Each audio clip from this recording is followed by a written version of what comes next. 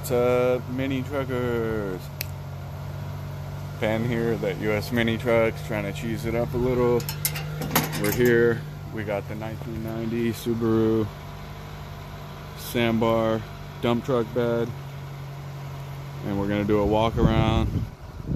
We're look, somebody looking at this in the U.S. military, so let's give a shout out, salute the flag, put your boots on.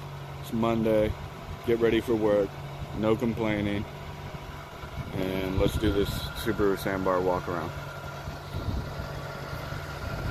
Looks like we got a couple holes in the dash there. Maybe they had something mounted. Uh, what else?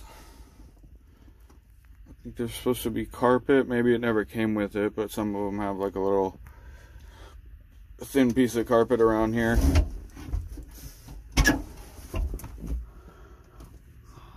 Doesn't look that good here. There's supposed to be a little tray, like a plastic tray.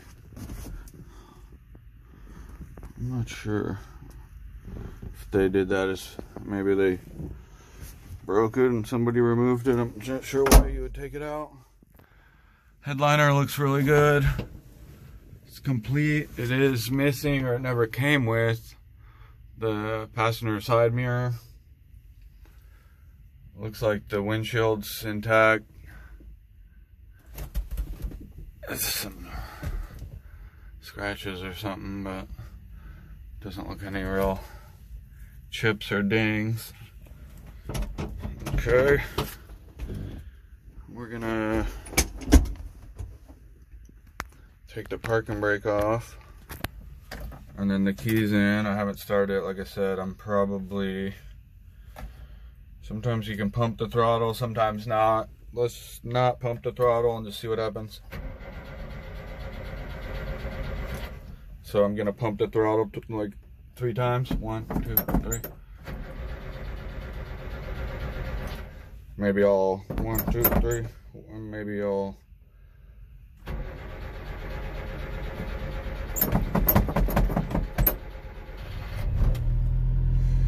so I kind of pumped it when I was going. I haven't started this one.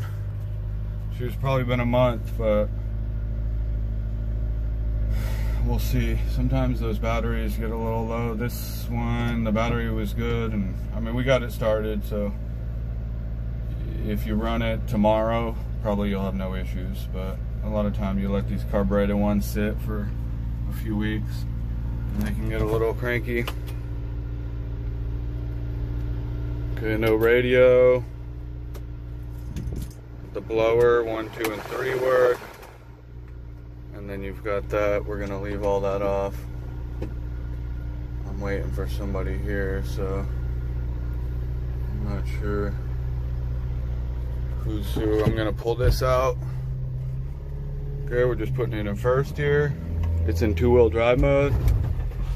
It's funny because I actually kind of spins the back tires on this gravel with two-wheel drive.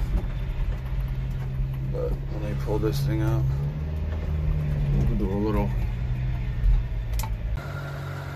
Okay, one of the things, the dump truck bed's a little bit more beat up. I mean, the the body, I mean.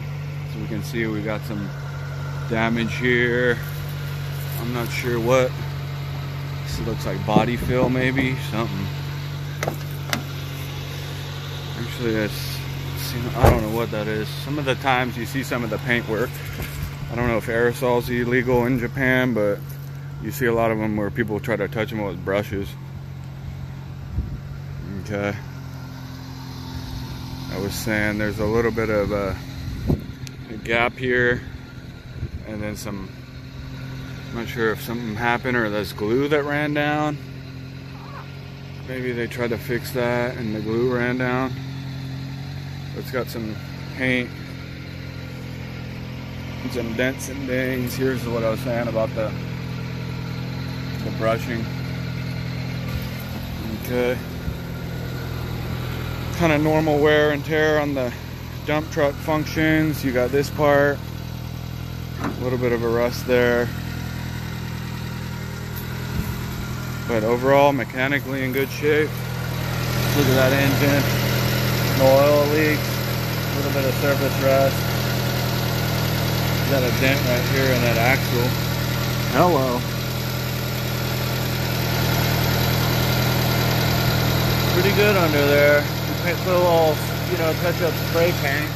Thing will look brand new.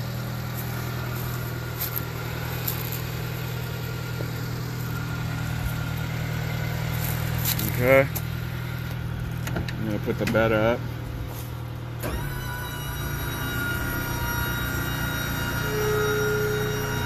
And we'll take a look at some of the rest of the. Let's go all the way. Damn, son. What? Does your truck have a built-in window? Mine does. You want to see what's happening on the side? put the bed up. All right, so in here, we got the frame. You can see how they connect it here.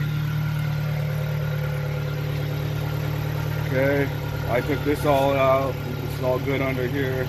We do have some surface rust on the bottom of the bed. Looks like it's been touched up. This is a good sign. So you can see this has got plenty of grease.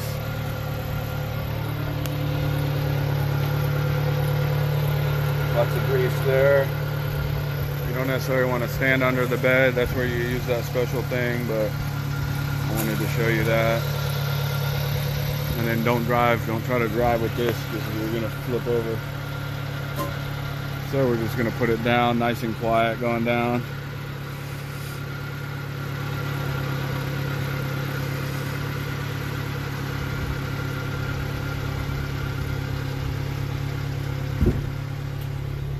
Okay.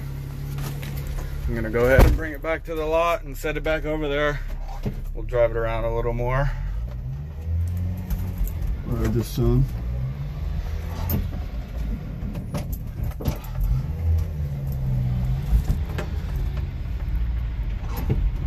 This one doesn't have uh, the carpet in the bottom and I'm noticing it kind of has a little echo in here. And then also it's a little bit louder. So you may be good putting the, some carpet in.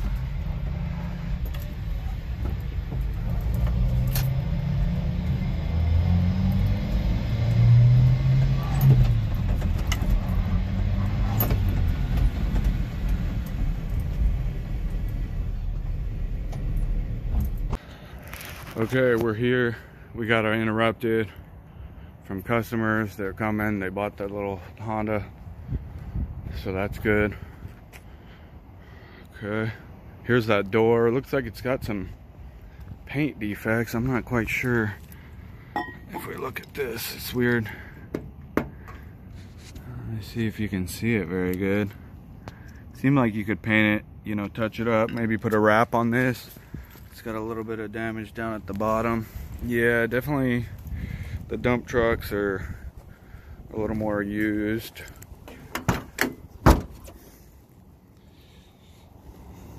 Okay.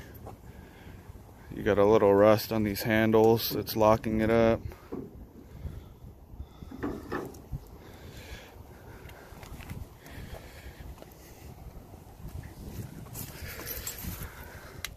Here's the frame. Let me let the camera adjust a bit.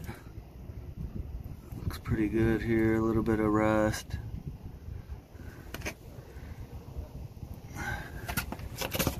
Let me in there.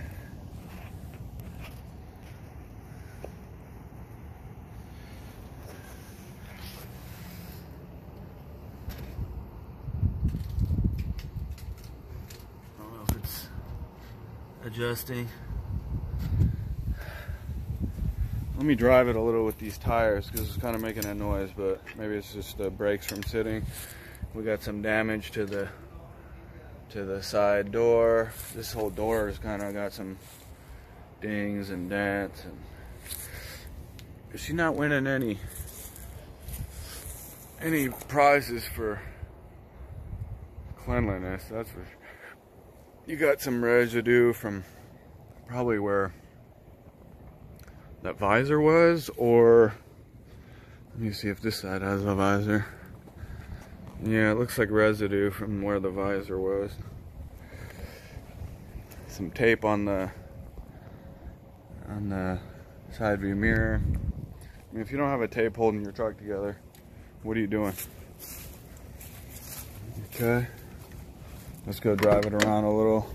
Try to spill my coffee. Oh, hello. This is something I've seen on the Subarus, probably the Hondas too, that piece pulls out.